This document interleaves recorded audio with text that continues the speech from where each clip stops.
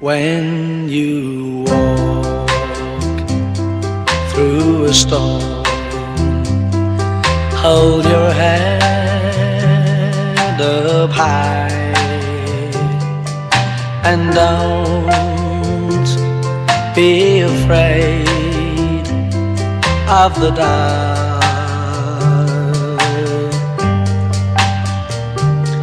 At the end of a storm, there's a golden sky and the sweet silver sound of love.